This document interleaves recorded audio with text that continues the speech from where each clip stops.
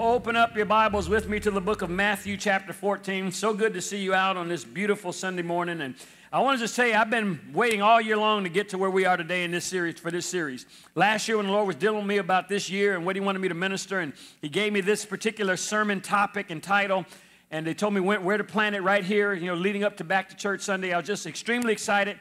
And I'm really excited to be able to, to jump into this today because I'm beginning a series today entitled Weapons of Mass Distraction weapons of mass distraction. And I really do believe with all my heart that there are things that God wants to do in our lives and there are places He's trying to take us. And you need to know this that the devil is not more powerful than you are. I need a better amen than that in this church.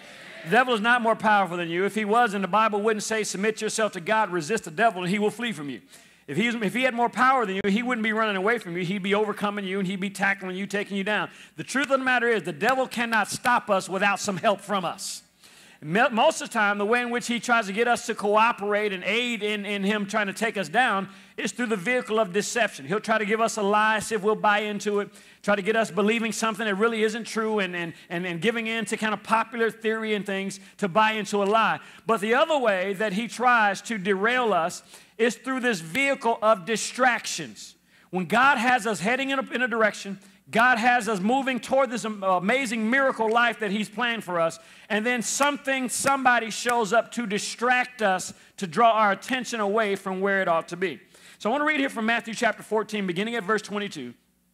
It says, Immediately Jesus made his disciples get into the boat and go before him to the other side. Somebody shout, the other side. Somebody say, God was taking them to the other side. Then say this, and God's trying to take me to the other side. He was taking them to the other side, and he sent the multitude away. When he had sent the multitude away, he went up to the mountain by himself to pray. Now, when the evening came, he was alone there, but the boat was now in the middle of the sea, tossed by the waves, for the wind was contrary.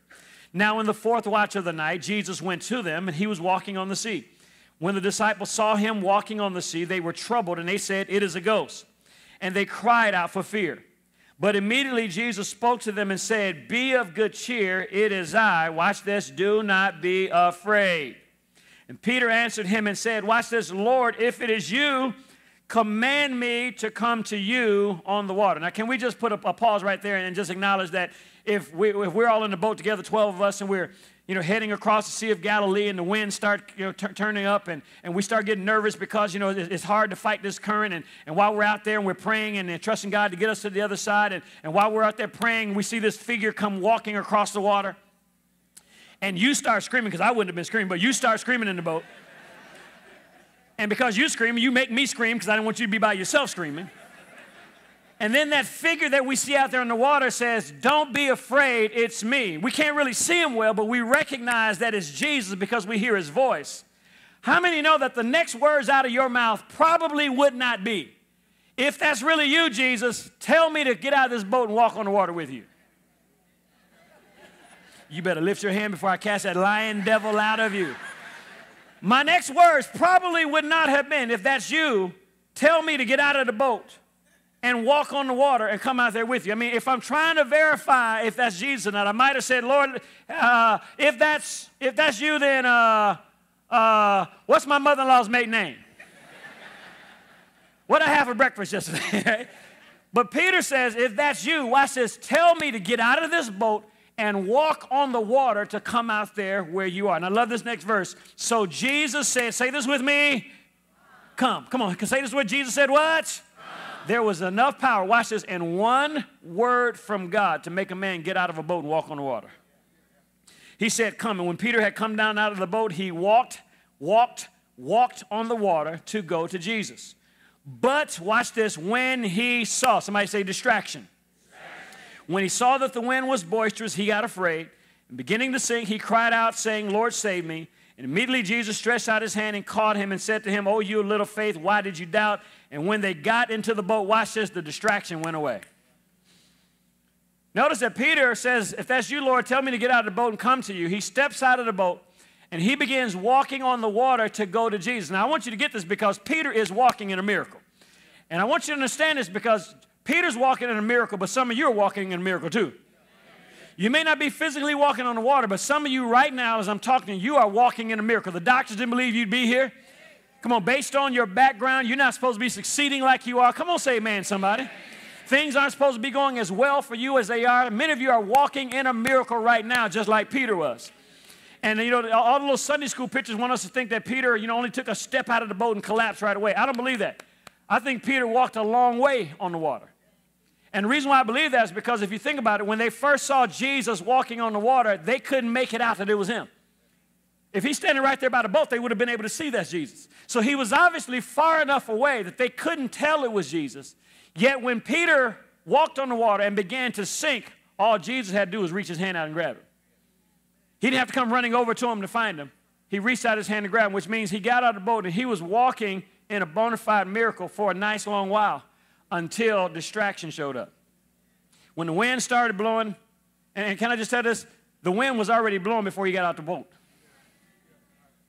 Remember, the reason why Jesus left his time of prayer to come where they were is because the wind was contrary, trying to keep them from getting to the other side. So even when he stepped out of the boat to start walking on the water, the wind was already blowing. It didn't start blowing, it was already blowing, but he was so focused. Somebody say, focus. He was focused on the miracle at hand that he wasn't paying attention to the rest. Something happened. Probably was his little gown started blowing up in front of his face. And he noticed that, hang on a second, I'm not supposed to be doing this. And when the distraction kicked in, the distraction was intended to take him down. That is what distractions show up to do. Distractions show up as a tool of the enemy to get our minds off of God's agenda and over onto something else. In fact, I'll, give you this definition for the word distract. The word distract means to draw the sight, the mind, or attention in different directions. Distraction means to perplex or to confuse, to draw the mind, to draw the sight or attention in different directions, to perplex or to confuse. I like to say it this way distractions come to hijack our faith and force it to a different assignment. Distractions show up to hijack our faith. You know, like when, when, when, when somebody's on an airplane and, and some, some person, terrorist person, tries to hijack the airplane. How many notice that typically when they hijack the plane, they don't say, keep going to your destination? They hijacked the plane with the goal in mind of forcing the pilot to take that plane somewhere different than where it was going. Distractions show up in our lives with the goal in mind to try to hijack our faith. We're on this mission with God. We're walking with God. We're walking in a miracle. He just changed our lives. Things have gotten so much better for us. We're doing well now. And distraction shows up to make us stop thinking about this wonderful miracle we're walking in and get our faith over here on something else that's got nothing to do with this miracle. Now, understand this distractions can come via family and friends. Distractions can even come through promotions on our job. Come on, say amen, somebody. Distractions can come through relationships. Distractions can come through bad reports that we get that take all the wind out of our sail. Distractions can come through money. They can come through offense. Distractions can show up through gossip. But there are four weapons that cause distractions to the masses. That's what we call these weapons of mass distraction, which means these are not just ones that you know you look at and say, oh, that, that would never affect me. The ones I'm going to give you over these next four weeks are ones that I believe have the potential to impact every single one of us, adults and teenagers alike, weapons of mass distractions. The first one I want to dive into today is what we call the strange man and the strange woman. Thank you for that hearty amen. Way too early for you to start getting quiet. the strange man or the strange woman. Bible says in Proverbs chapter 2, listen to this. It says, Wisdom will save you from the immoral woman. Now, the New Living Translation calls her, this, this lady, the immoral woman. I like the King James Version because it says the strange woman. Now, I want to stick a pin in here because, you know, the, the Bible was written really to a male dominated society. So, a lot of things that, that, that, it, that it says is written from a male slant or male's perspective. But there's some strange women, but can we just set the record straight? There's a whole lot of strange men, too. And if you can't say amen, then I might be talking about you, brother. Come on, there's some strange women, but there's some strange men too. So when we're reading this, it's saying woman and it's saying her, but let's keep in context that it could be a strange woman if you're the guy, but it could be a strange man if you're the woman. And the Bible is telling us, watch out for that strange person. Wisdom will save you from the strange woman or man. It'll save you from the seductive words of the promiscuous woman. She has abandoned her husband and ignores the covenant that she made with God. Entering her house leads to what? Come on, I can't hear. Entering her house leads to what? It is the road to the what? The man who visits her is what? Doomed. He's doomed. Watch this, and he will never reach the paths of life. That's good. He'll never reach. If you go to if you go to way with this woman, if you hang out with this guy, if you allow the Holy Spirit to speak to you today and don't take heed to what he's saying, the Bible says you'll find death showing up, you'll find the grave showing up, you'll find doom showing up, and you'll never reach the pathways of life. In other words, what he's saying is you will never fully accomplish what God designed for your life. You know why? Because distraction kicked in. In other words, I'm heading toward God's way, heading in God's direction, but then this relationship shows up.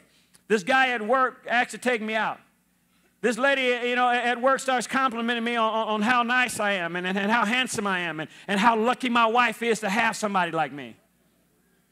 And if I don't recognize, watch this, the trappings of the strange woman or the strange man, the Bible says I will get distracted and never end up on the pathways of life. The Bible has a whole lot to say about paying attention to the relationships that we allow into our lives. In fact, one of the most famous spots the Bible talks about is in 1 Corinthians chapter 6, where it simply says this flee fornication.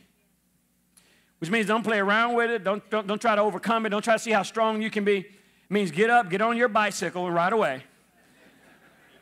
or get on your hoverboard and zoom, zoom on out of the room.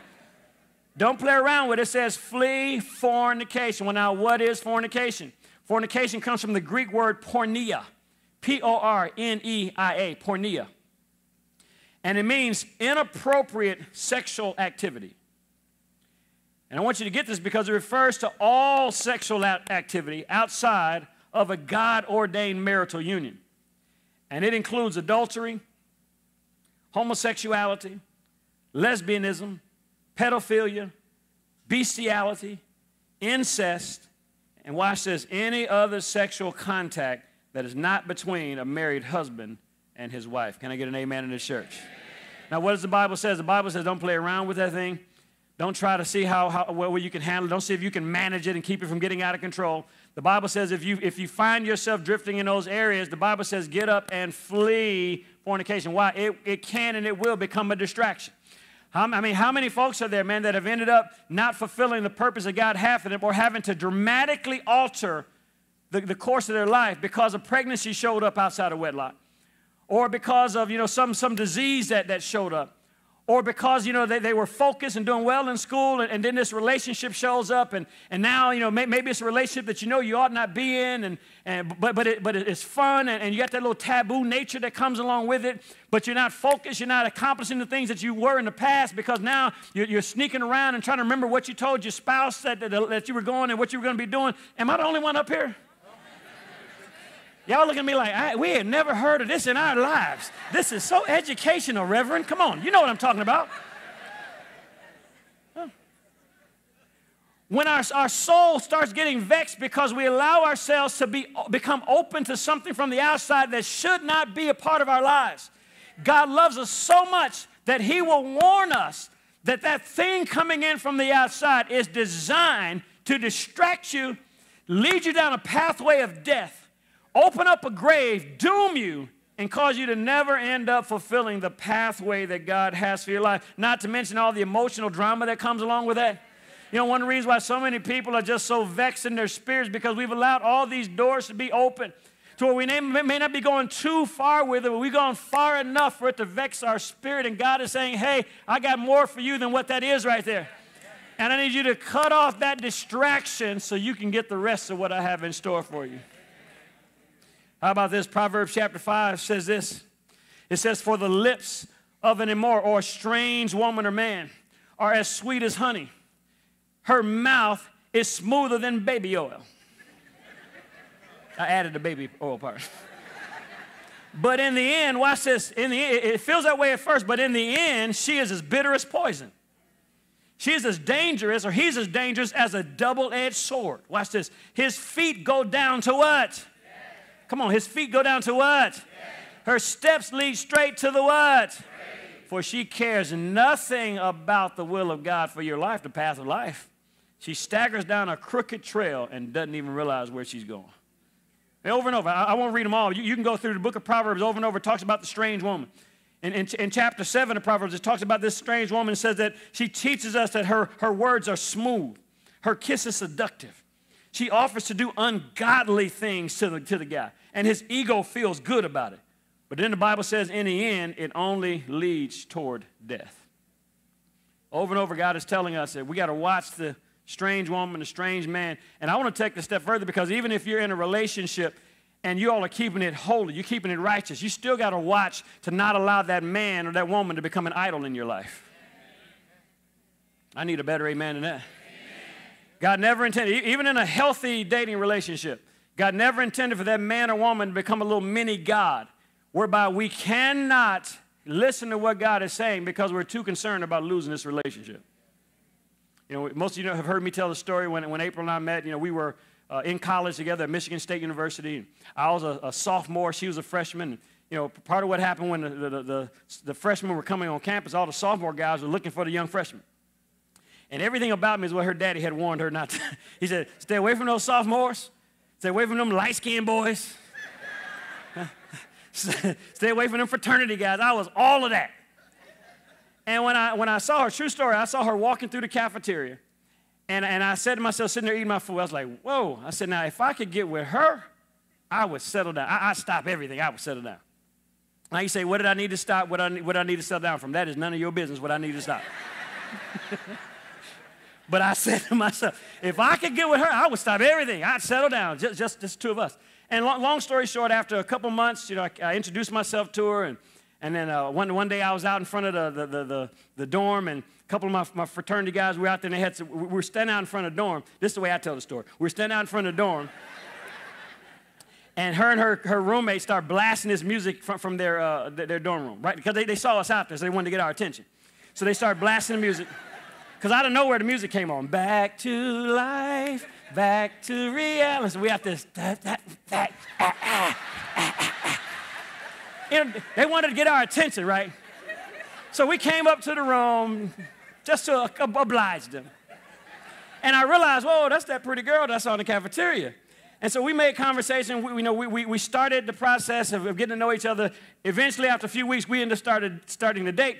And the way it had normally worked with me, after you know you've been dating for a few weeks, maybe maybe a month, you kind of make your move. Anybody know what I'm talking about?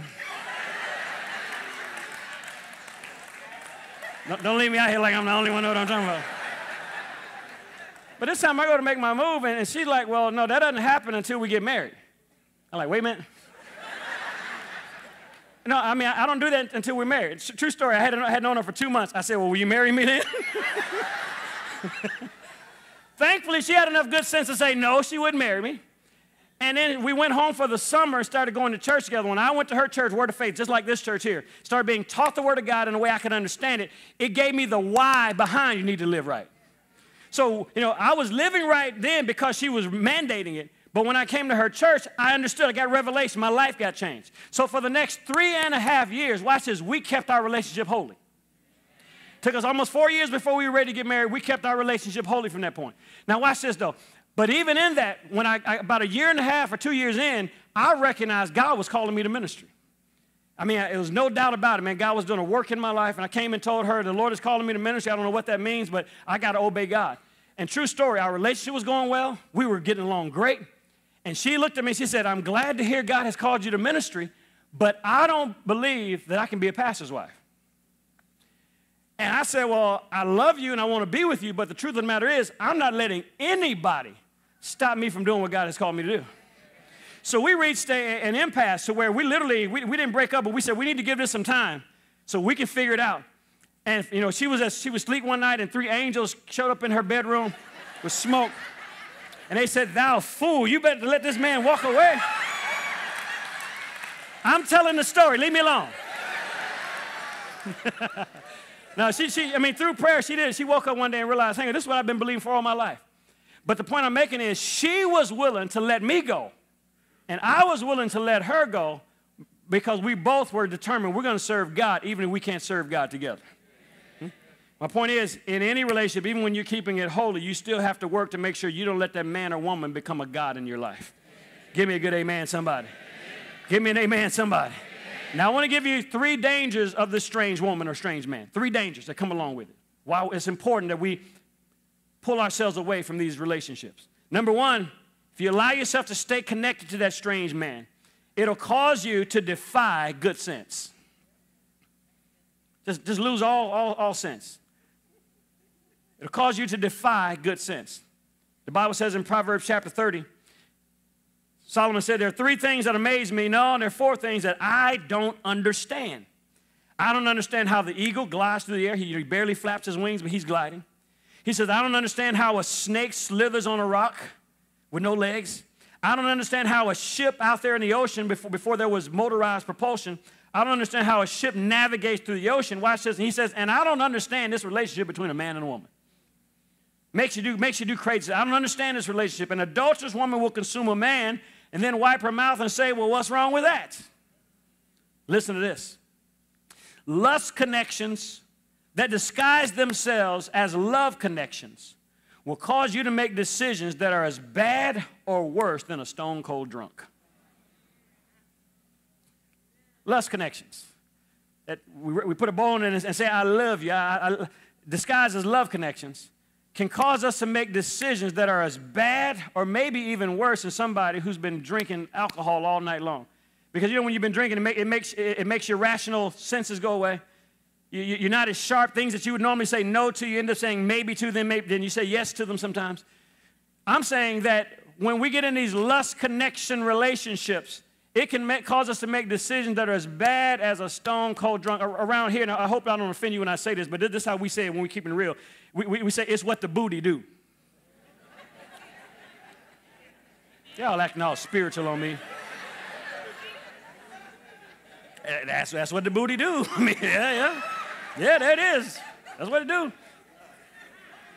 Which means if you don't keep a guard, you'll find yourself doing stupid stuff. And when somebody goes, how in the heck would they do that? That's what the booty do. Now, again, y'all acting all spiritual like you have no idea. You know some folks. And some of us have been those folks that have made some horrible decisions because we let our bodies tell us that it was okay to take off and do this thing that we know was not the right thing to do. I'm preaching better than you saying amen. Reminds me of the, the, the, the, um, the movie called Harlem Nights. Eddie Murphy, Richard Pryor back in the day. Some of you know, some of you know the movie. And there's, there's one scene in the movie where uh, this guy, he's the, he's the bag man, goes around picks up all the, the money for this gangster. And, and uh, Eddie Murphy and Richard Pryor set him up. They, they introduced him to this girl named Sunshine. That's what the booty do. they introduce him to Sunshine, and, and Sunshine, they end up in this hotel room, and Sunshine seduces him. And, and when they, when they get done, you know, she gets up, she gets ready to walk away, and she turns around and says, Richie? He said, Yeah, yeah. I think I'm falling in love with you. And a little tear runs down Richie's eye. When she walks out of the room, he picks up the phone, he dials home. He says, Kids, put your mom on the phone. Girl, I ain't never coming back home. well, when we find ourselves, come on, I'm trying to help somebody right here. When we find ourselves engaging in these relationships that we know are not God's best for us, and our emotions get involved and our bodies get involved, before we know it, we can end up making decisions that defy good sense whatsoever. Second thing that makes this really dangerous is that the strange man or woman will cause us to jeopardize the things that matter the most. Cause you to put at risk the thing that matters the most. Most people in here, if I came right now and just ask you, what, what is the most important thing to you? It's not your car, it's not your house. Most of us would say our family, our friendships, our career, our ministry. But when we find ourselves in these strange relationships with strange men or women, it'll cause us to jeopardize the thing that matters the most. And we've got to constantly ask ourselves the question is jeopardizing this worth it to have that? Is it really worth it to put this at risk to be able to enjoy that over here for a little while? Are you still out there? You're going home. That's why even when it comes to, to teenagers dating, teenagers, young adults, you got to always be leery when, when, when you're dating somebody and they want to get away from your family. Can I, can I just help you, parents and, and young people? Uh, when you're dating somebody and they constantly want to come to your house, pick you up, and be gone. They, they constantly want to hang out somewhere. They don't want to be around, especially when you, I don't mean if you got crazy family. I mean, you got family that love God. Come on, somebody. You got family that are reasonable, that, that hear from the Holy Spirit. There's a reason why that guy never wants to come and hang out at your house. Because he know your mama got the spirit of discernment on her. He, he don't want to shake your daddy hand because he, he's afraid them demons going to say, ah!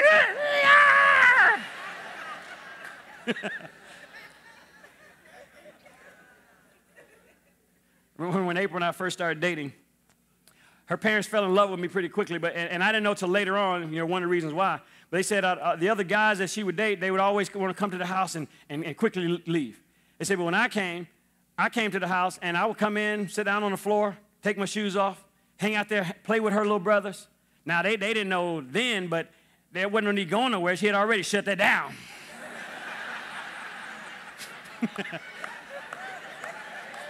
Might as well hang out at the house.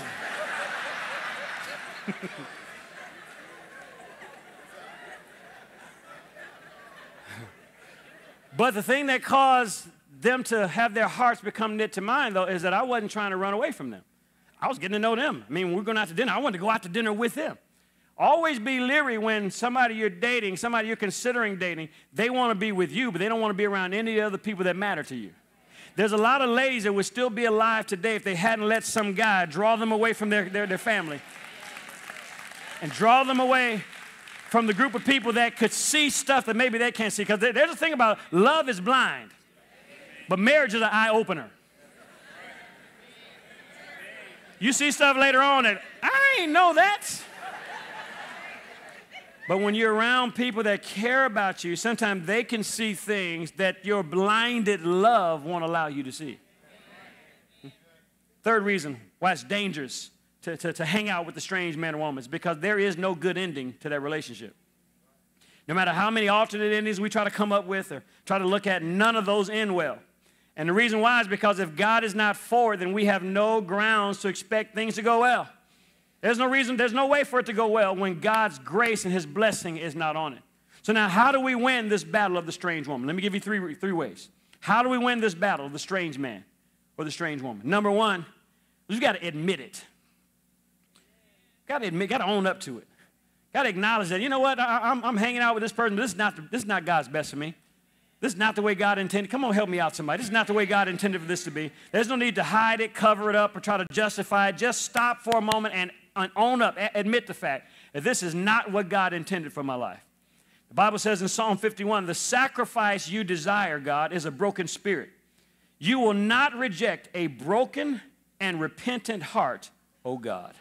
Which means, why says, I love what Pastor Chris Hodges says. He says, God is never asking for perfection. What he asks for is transparency and humility. That's good, man. You know, if God was requiring perfection, none of us in here, including me, would, would ever be able to live up to it. And I'm not talking about years ago, I'm talking about even right now. If, if perfection is what God re- required, I wouldn't be on his top 10 list, his top 100 list. But he doesn't require perfection, but what he does require is for us to be transparent and have some humility about ourselves. And it takes humility to just come back and say, I'm wrong. It takes humility to say, you know, I let myself get caught up. I got emotional. I got driven. I need to fix this and own up to where I am. You know, repentance, there's a power that comes from repentance. But because we live in a society that has such low self esteem running around, many people equate repentance with failure or being a bad person or not measuring up to somebody else's standard or some other negative feeling. Can I just tell you, repentance is not a bad thing. In fact, repentance is a power, it's an amazing thing. All repentance, if you really want to know what does the word repent mean, it, it literally only means this it means to change your mind. Walk into the refrigerator, 2 o'clock in the morning, I'm going to get that piece of chocolate cake because I deserve it. You think about that dress you're going to try to fit in, you repent. Nope, I ain't going to do that. change your mind. Right? To repent simply means to have a change of mind. And when you have a change of mind, it causes you to have a change of heart. You have a change of heart, watch this, it causes you to change your actions. Repentance and being sorry are not the same thing. We can be sorry all day long and still not repent. Repentance happens when I, re- when I wake up and go, you know what? This is wrong. I don't, I don't need to be with him. I don't, know why I'm, I'm, even allowing myself to, to, to still hang out with him. And we make a decision to go ahead and sever that tie or fix the relationship to where it's supposed to be. And you'd be amazed at how much clearer we begin to see life. Our focus comes back when we simply do this thing called repent. My friend Myles Munroe, before he went home to be with the Lord, he, said, he used to have this saying, and I love it. He said, To repent is simply to come back up higher where we really belong. You know, the top floor of any apartment or, or hotel is the penthouse. So in his mind, to repent just means to come back, to, re, to re, come back up higher where we really belong, which means I'm done living down here in the basement. I'm done accepting less than what I deserve. Come on, talk to me, somebody. I'm done letting somebody talk to me any kind of way or treat me any kind of way. I'm done letting them call me when they don't have anybody else they want to talk to. I'm done being somebody's second place something. Come on, say amen, somebody.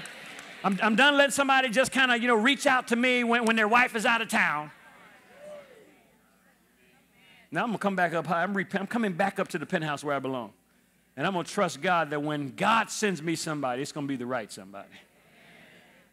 We got to admit it. Second thing we got to do is avoid it.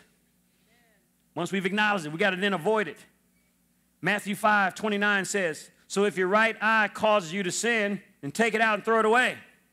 It's much better for you to lose a part of your body than to have your whole body thrown into hell. If your right hand causes you to sin, then cut it off and throw it away. It's much better for you to lose one of your limbs than to have your whole body go, uh, go off to hell. Now, he's not literally saying that you need to pluck your eye out or literally cut your arm off. Watch this, unless that's what it takes in order to get away from that thing. What he is saying is that we can't walk around and play around with this thing. We got to take some drastic measures because we have to come to this realization that I'm not strong enough to manage sin.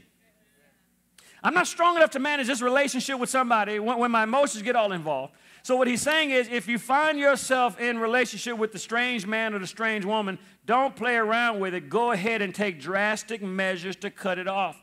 But the Bible says this, can you build a fire in your lap and not be and not burn your pants? Do you think you can walk barefoot on hot coals and not get blisters? What he's saying is you get close enough to that thing, close enough to that thing, in time it's going to eventually burn you. That's why right now, you know, brothers, Right now, it may, it may seem innocent. You know, you're just communicating on social media a little bit, and every now and then a little message, ha, ha, ha, ha.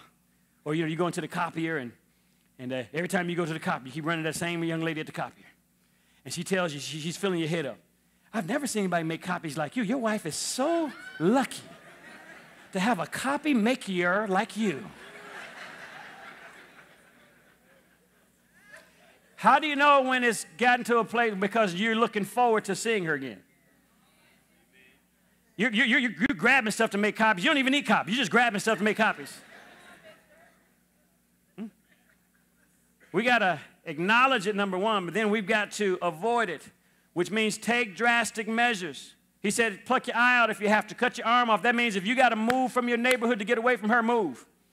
If you got if you got to change jobs or careers, it is worth it to not end up having your house led straight to doom. If you got to get off social media altogether, block so and so, totally get away from so and so. If that's what it takes, he says, don't play around with it and think you can build a fire in your lap and have it not come back to burn you at some point. Then the last thing, number three. We've got to admit it, avoid it, then we've got to account for it. This is quickly becoming one of my favorite verses.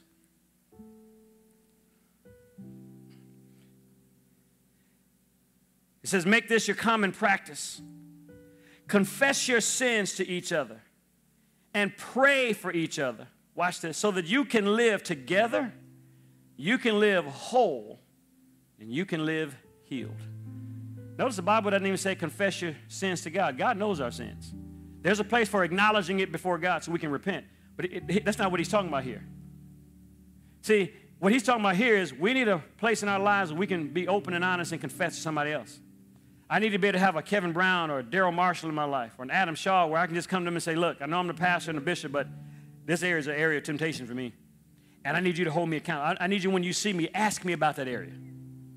You know why? Because if I got somebody else holding me accountable, it makes it a whole lot harder for me to live over here in this little secret world. Can I get an amen from somebody? See, there's one thing you need to understand about the devil. He specializes in trying to keep the secret between you and him. But what he doesn't tell you is that he plans to tell as many people as he can and shame you as soon as he can when he can catch you slipping. That's why we got to live in accountability. That's why it's important for you to get plugged into a small group. I'm not standing up here harping every week about small groups so we can just say how many people we have. I'm convinced we can't grow where we're supposed to grow. We can't get free from our yesterdays. If all we're doing is coming and getting an inspiring message on a Sunday, but then we do nothing with it the rest of the week. We need to live in community, man. And that's why we need to, that's, that's one of the biggest mistakes the church as a whole has made. We tried to make a church, the church a place where you had to come and act like you had it all together. One of the biggest places of liberation that we've come to as, at Impact Church is that we can show up here every week and say, God is using me, God has anointed me, but I don't have it all together. And I'm not going to act like I, I got it all together to impress you because while I'm impressing you, I end up hurting me. So I'm not going to give you all my dirt because I don't know you like that. But I'm going to find some people that I can get real with, that I can be open and honest and transparent with because in that process, I can recognize that I don't want to let that strange man or that strange woman come into my life to destroy what God had in store. Come on, stand to your feet. I got a confession I want to lead you in. And I want you to say this and mean this with all your heart as we declare we're not going to allow that thing from the outside to destroy what God's doing inside.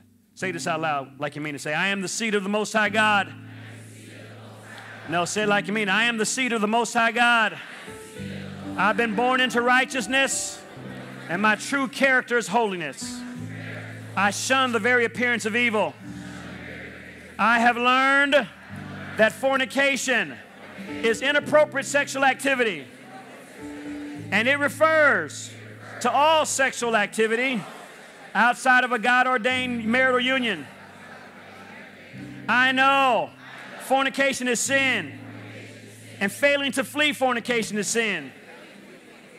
And I know the paycheck for sin is death. So I make a decision today. I will not get paid. I will exercise dominion over sin.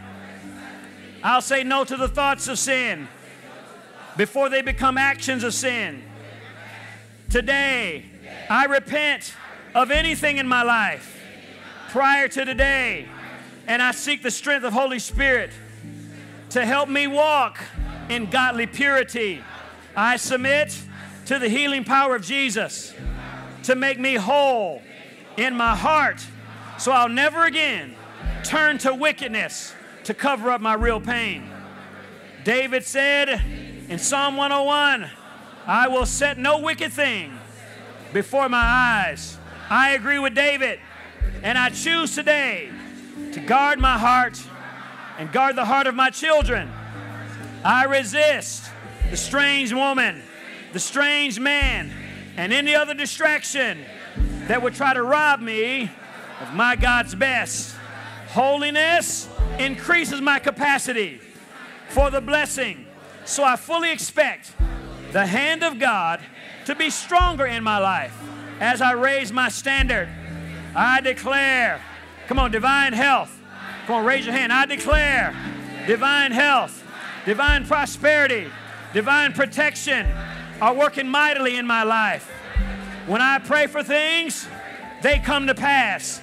My angels are on assignment to work the Zoe life of God for me, and nothing is hindering their assignment. I am the righteousness of God in Christ Jesus, and I will live this way. Come on, I will live this way. Come on, I will live this way for the rest of my days. In Jesus' name, amen. Now come on and shout like you believe that. Yeah, come on and give him praise. Come on and give him praise in this place. We thank you, Lord God. Praise you, God. Thank you, Lord. Now look up here at me for a moment. The reason why God loves us enough, or the reason why God has given us what He gave us today, is because He loves us. The Bible says when God corrects us, He does it because we're sons or we're daughters. We're His children. How many know the kid down the street is not yours? You can look at their behavior and go, that's horrible, but you, you, don't, you, don't, you don't bother them. But your own kid, I'm not going to let you grow up to be horrible because I didn't love you enough to correct you. God loves us so much. Watch this. He can see what the enemy's trying to use to distract us and get us off track. And He loves us so much to bring us here together to our safe environment to let us know that, that little thing that you think only you and the devil know about or you and your, your best friend know about. Now let's go ahead and fix that so it doesn't lead us down that pathway of death and destruction. But instead, we can keep going in God's blessing.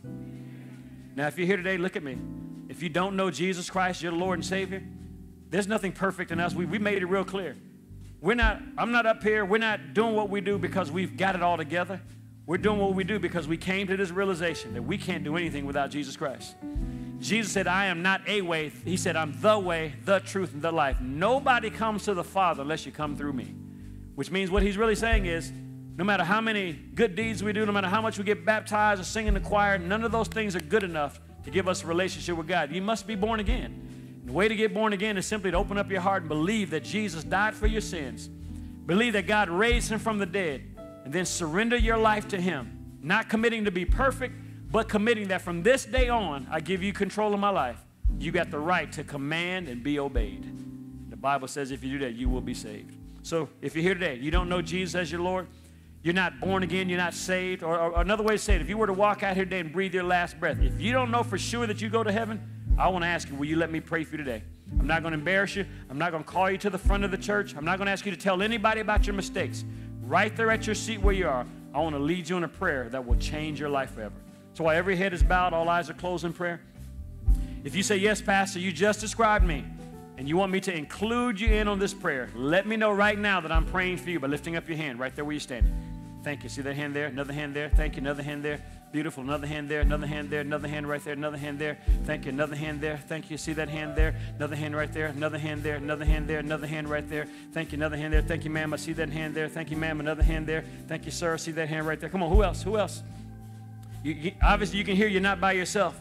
Others have already raised their hand. We're just waiting on you. You say, How do I know if I should be raising my hand? Something on the inside is telling you that it's time to go ahead and surrender your heart to Jesus Christ. Thank you. See that hand right there? Thank you. Another hand there. Beautiful. Beautiful. Thank you. Two hands in our overflow room, out of court. Thank you. Another hand there. Beautiful. Beautiful. All over this room, hands are going up. This is beautiful. You can put your hand down. I want to look one more time across the auditorium. If you didn't raise your hand the first time, but in your heart of hearts, you know that you should have. Don't let the enemy stop you. Don't let, don't, don't let a fear of embarrassment stop you. I promise you, I'm not going to call you up here to the front. Only reason I even want you to raise your hand is so that you and God know I hear you talking to me, Lord. Anybody else will say, Yes, Pastor, I need to get in on this. Go ahead and raise your hand. Thank you. Thank you. Another hand there. Another hand right there. Beautiful. Another hand there. Thank you, Lord. All right, every one of you that raised your hand for prayer, I want you to do something for me. I want you to pray this prayer just loud enough for you and God to hear. And right there at your seat where you are, God's going to transform your life. Say this, say this right there to yourself. Say, Dear God in heaven, thank you for loving me today. Thank you for reminding me that you love me right here where I am. I do believe in my heart that Jesus died for my sins. I believe you raised him from the dead and he's alive right now. So I'm asking you, Jesus, to come into my heart. Save me now. Forgive me for trying to live this life apart from you. I make this one commitment I surrender my life to you forever, and I will never turn away from you. According to the Bible, I am right now born again. Jesus' name, amen. Come on, put your hands together. Help me celebrate with these men and women. Come on, man, all over this room. Come on. Yes. Praise God.